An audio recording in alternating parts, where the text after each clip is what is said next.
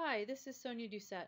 In this video, I'll show you how to calculate the percent dissociation of a weak acid when you know the initial acid concentration and the pH. The specific problem we'll be solving here asks you to calculate the percent dissociation of 0.05 molar nitrous acid at 25 degrees Celsius in a solution with a pH of 2.32.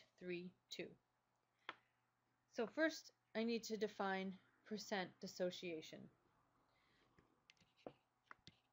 So we'll say percent dissociation is equal to the concentration of the acid that is dissociated over the initial concentration of that acid. And it's because it's a percent, we multiply by 100. So the HA refers to the generic acid in this general acid dissociation equation where you have an acid donating a proton to water to give you a hydronium ion and the conjugate base of that acid. So as you can see from this equation, acid that is dissociated is really equal to the hydronium ion concentration because when an acid dissociates it donates its proton to the water so the amount that dissociates is really equal to the hydronium ion concentration in that solution.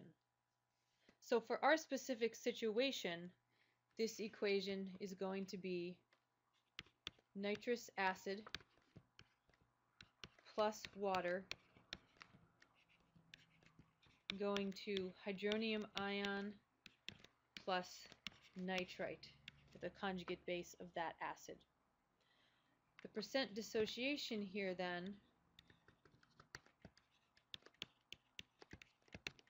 is going to be equal to the concentration of nitrous acid that is dissociated divided by the initial concentration of nitrous acid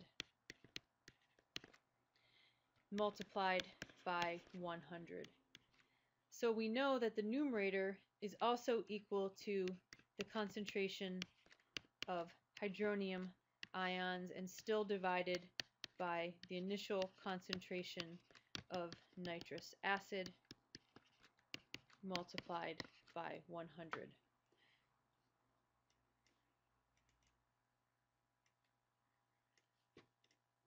The next thing we can do is to calculate the numerator or the hydronium ion concentration.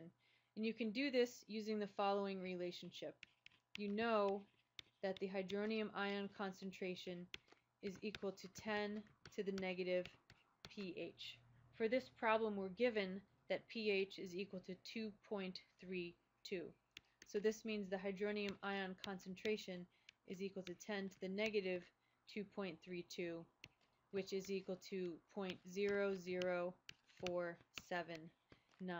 So this will be the numerator when we're calculating percent dissociation.